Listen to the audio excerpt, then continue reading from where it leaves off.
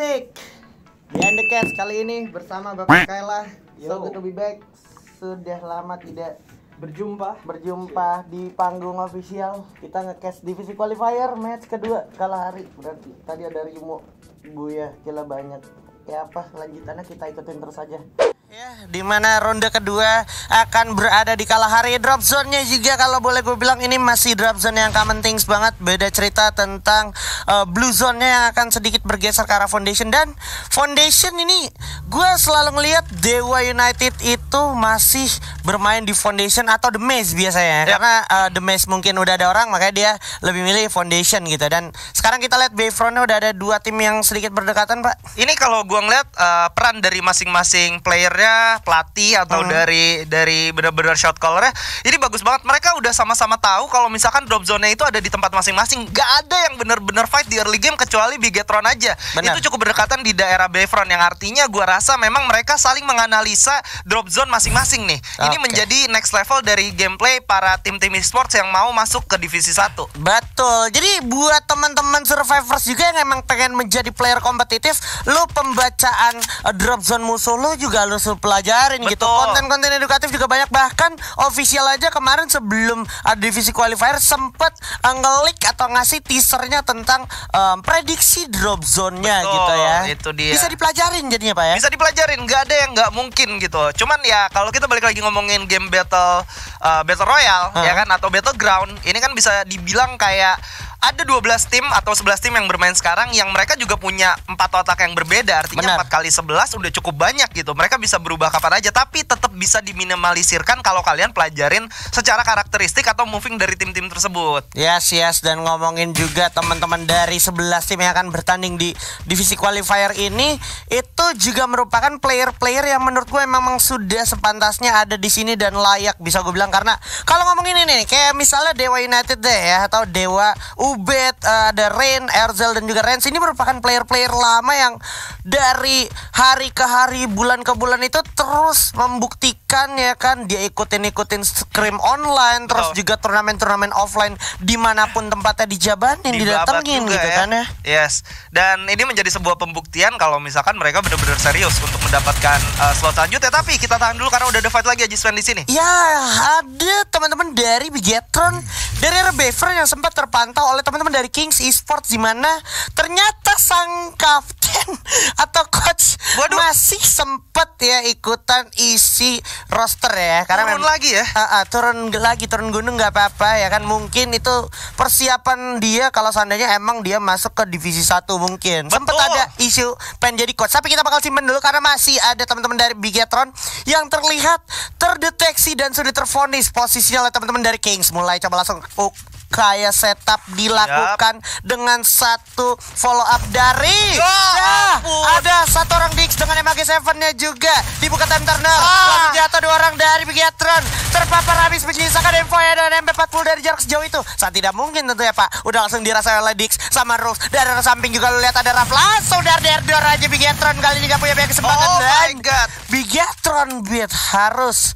tereliminasi pak. Iya harus tereliminasi dan cukup puas di posisi ke-11 tadi Gue bisa bilang satu makro yang sangat amat baik dari tim Kings Di mana mereka setelah tahu ada satu orang yang terkena down Coba membaca pergerakan arah Bigetron. Ke mana dia coba bergerak? Langsung mereka tahu ini menjadi 4 lawan 3 Mereka langsung memutuskan untuk pakai launchpad Masuk ke daerah pertahanan lawan Dan membuat satu pergerakan yang tidak dibaca oleh musuhnya. Di mana kita bisa lihat sendiri tadi Yangat bener-bener nggak sadar Kalau di belakangnya ada musuh yang udah menggunakan uh, satu ja- senjata yaitu grapple hook. Dan akhirnya harus terjadi uh, surprise attack dan menjadi 4 lawan 2 yang ini menjadi kesulitan untuk Bigetron keep up di round-round selanjutnya karena di game pertama mereka kurang maksimal game yang sekarang juga nih Haji Sven Yes, itu menjadi sebuah PR yang mungkin cukup berat untuk dilakukan di game selanjutnya. Tapi tentunya untuk para pendukung dari Bigetron Beat tetap berikan dukungan terbaiknya dan jangan saling menjatuhkan seperti biasa. Ingat, dukung boleh tapi jatuhin jangan gitu ya. Dan kita juga punya MVP Wow. dari game sebelumnya yaitu Rimo X dengan total perolehan kill 4 kill dan juga damage yang cukup banyak yaitu sekitar 1580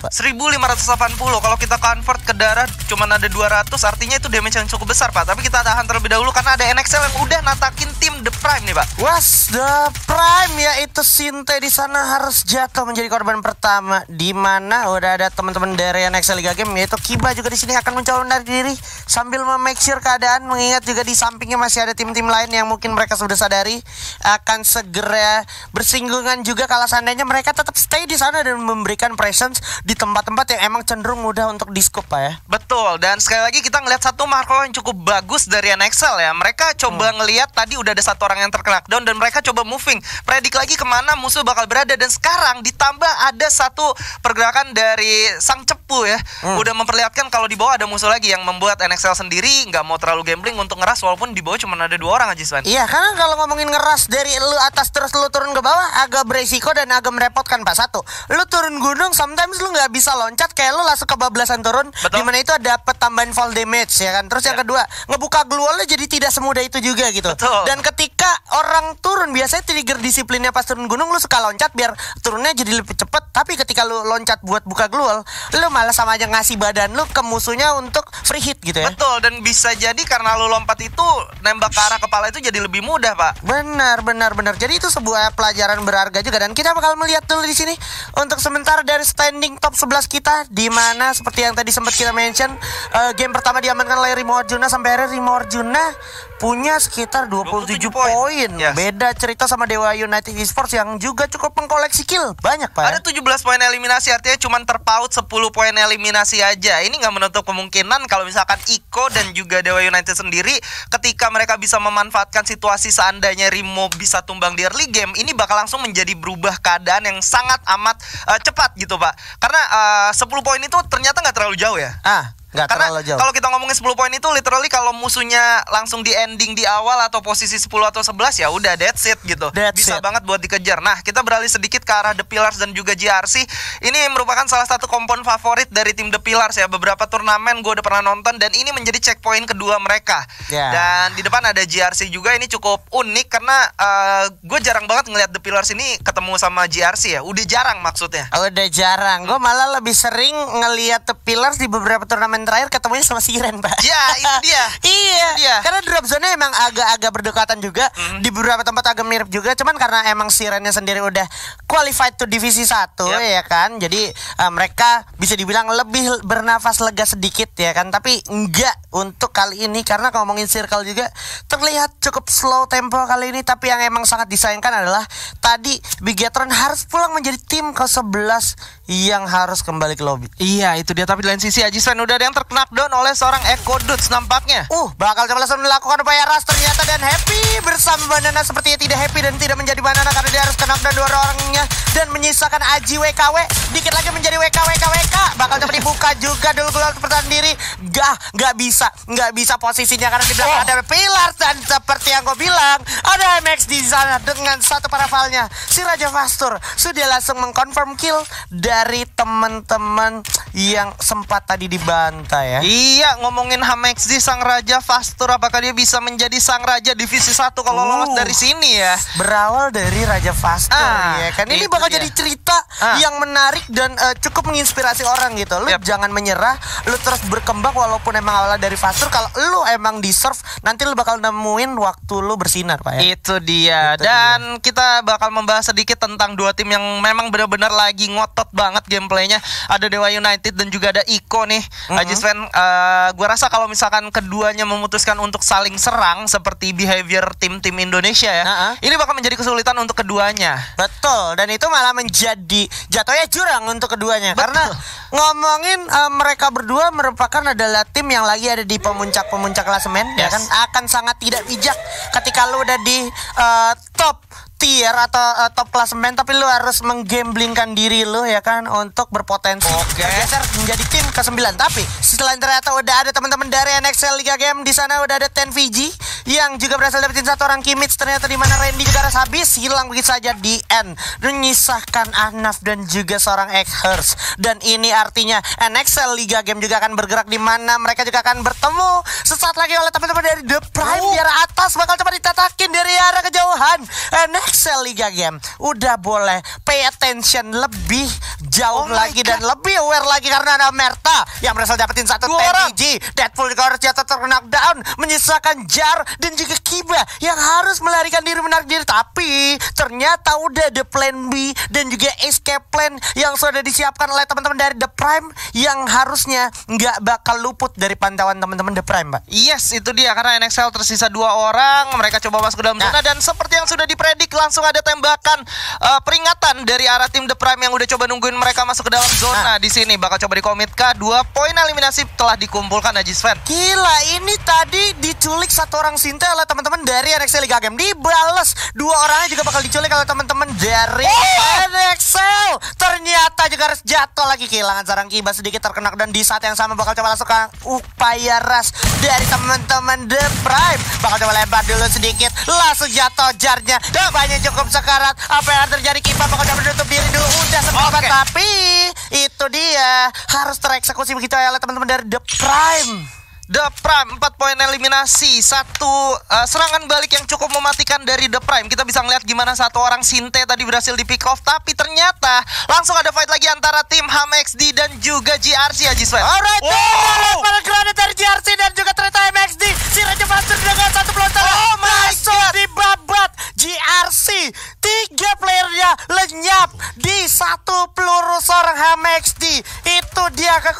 Raja Master dan sekarang kita juga sudah melihat 5 poin kill sudah dikonfirm untuk teman-teman dari The Pillars Rapier dan sekarang kita masih akan move melihat Eko Esports yang masih sepertinya berdekatan dengan tim di sebelahnya sekarang ada The Pillars Pak Skyla. Waduh, ini kedua tim juga yang lagi sama-sama gontok-gontokan ya. Betul. Tadi memang uh, kita bisa ngeliat gimana Iko yang tertarik atensinya ketika ada perang dua antara sisi The Pillars dan juga JRC tapi memang karena memang ada pelontar yang cukup baik dari seorang Ham XD membuat fightnya cepat selesai. Kalau sekiranya tadi fightnya masih kedrak agak lama gua rasa Iko bakal panen kill tadi pak ya. Iya iya iya. Untungnya dari segi timing eksekusi teman-teman dari The Pillars Rapier bisa gue bilang punya satu uh, komit yang cukup cepat dari segi timing. Tahu?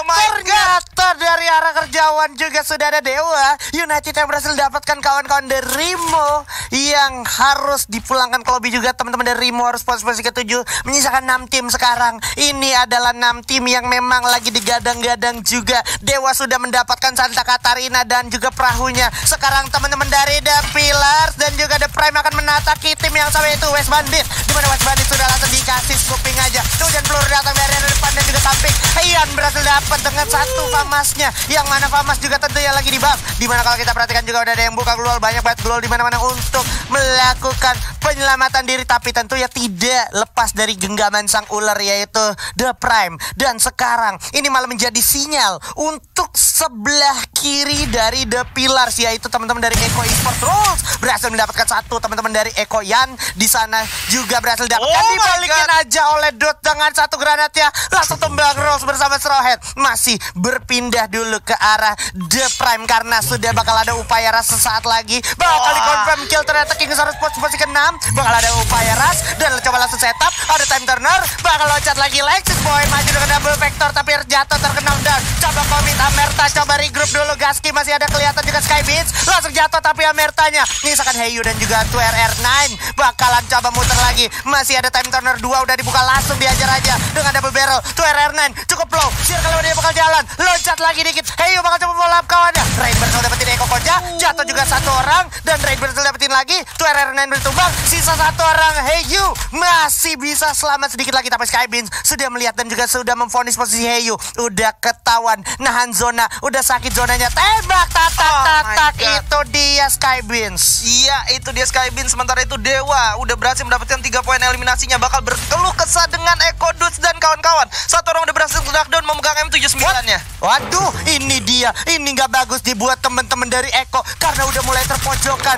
Udah dihabisin oleh Ama Ubed juga. Dudes-nya udah tumbang, bakal dihabisin. Teman-teman dari Dewa udah mengpanen 5 poin kill-nya. Masih gulung medical kit dulu sebentar waktu dan di saat yang bersamaan teman-teman dari The Pillars akan take the advantage. Bakal tersisa dan mereka masih lengkap 4 orang. Mulai Masih coba di setup teman-teman dari Eko nggak di posisi yang harus puas di posisi keempat dikasih granat dari seorang Rain tapi dari Dewa sendiri harus stay awake dan juga stay alive karena udah ada kaki-kaki yang terdengar semakin dekat Pak. Semakin dekat kita ngeliat juga The Pillars udah coba mulai merapatkan barisan ke arah satu zona di lane sisi Hmm. West Bandit tereliminasi bakal menjadi 4 lawan 4 antara sang preman Fastur dan juga Dewa United. Siapa yang bakal menjadi dewanya di sini Haji Sven? Kita bakal Alright. saksikan sesaat lagi. Oke, bakal dipasang juga global pertahanan diri dan udah terlihat juga dari Rizal dari belakang dengan satu baretanya tapi ada Ian mencoba melakukan upaya pelebaran sayap dari arah sebelah kanan. Udah ada double vector di tangan, masih ada Ren coba berhasil dapat di satu meter. Oh! Langsung dijarah dekat di berada kita Ian 666 loncat tapi ada pelontar juga berbahaya Pak. coba langsung dihajar. Satu orang dijatuh juga masih ada ABXD. Hati-hati masih punya global pertahanan diri. Ren masih punya pelontar juga. Bakal udah beri redelin semuanya. Dan ini bakal menjadi momentum untuk Dewa. Harusnya berhasil lengkap dari segi jumlah. Chelsea gak punya banyak kesempatan lagi. Bakal langsung dipretelin dan di jump shot dan tentunya ini adalah Buya untuk teman-teman dari Dewa United dengan total perolehan 10 poin kill I guess. Oh my Oh god my god, congratulations for Dewa United. Berhasil mendapatkan Buya di game kedua dengan torehan 10 poin eliminasi.